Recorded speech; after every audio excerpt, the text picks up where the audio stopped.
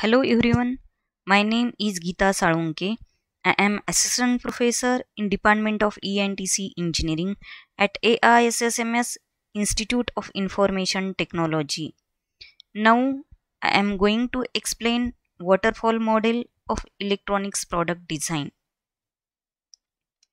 The waterfall model was first process model to be introduced it is very simple to understand and use.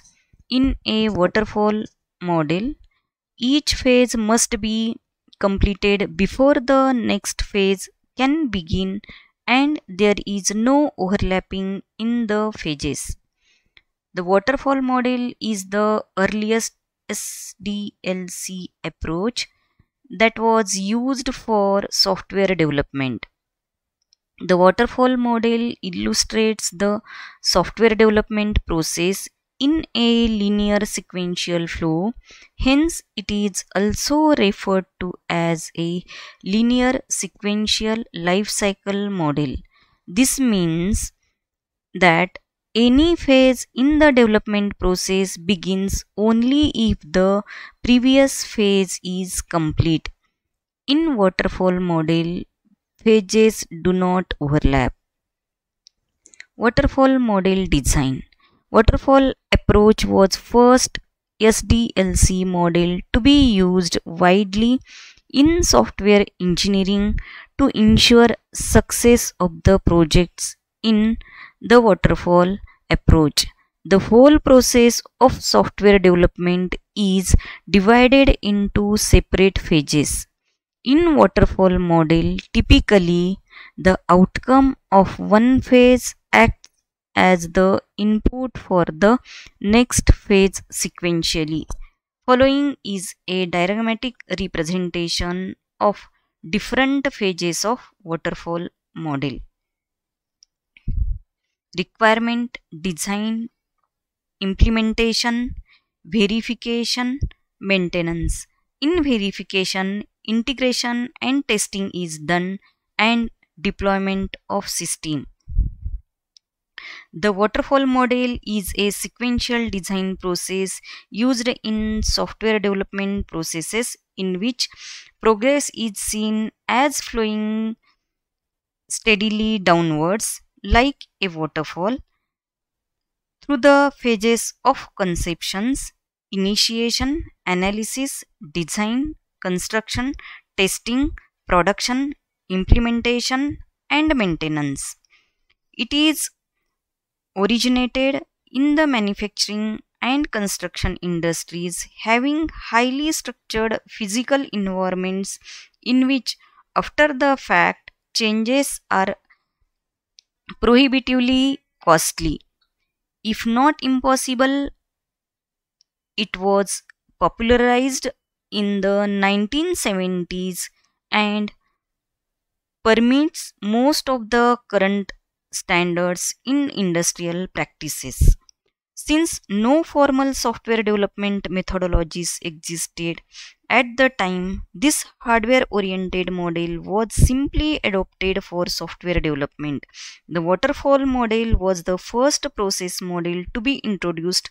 It illustrates the software development process in a linear sequential flow hence it is also referred to as a linear sequential life cycle model. In this model each phase must be completed before the next phase can begin and there is no overlapping in the phases. It is very simple to understand and use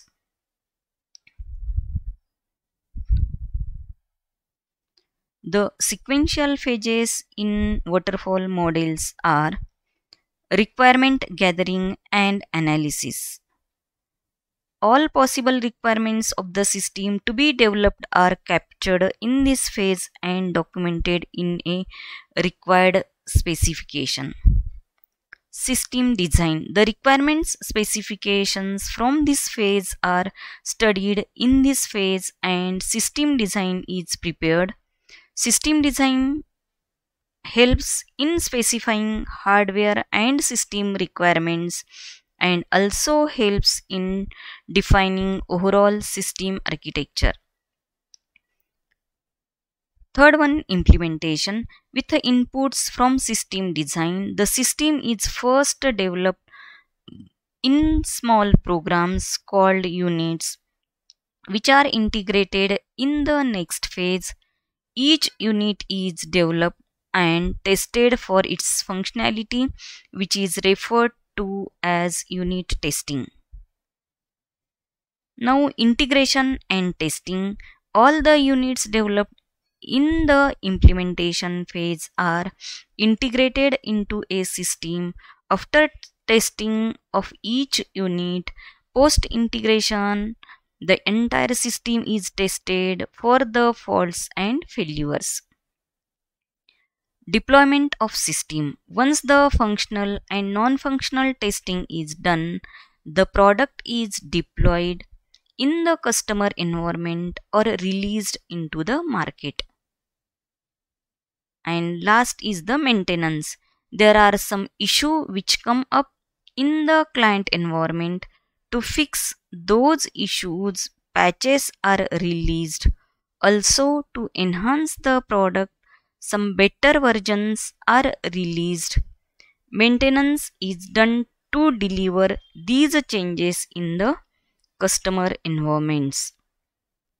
Now we'll see some applications of waterfall model. Every software developed is different and requires a suitable SDLC approach to be followed based on the internal and external factors. Some situations where the use of waterfall model is most appropriate are requirements are very well documented, clear and fixed. Product definition is stable. Technology is understood and is not dynamic. There are no ambiguous requirements ample resources with required expertise are available to support the product. The project is short. The advantages of water, waterfall model are it has proper documentation, it is systematic and sequential, it is a linear and segment model, simple, step by step, focused and easy to follow. This is about the waterfall model of electronics product design. Thank you.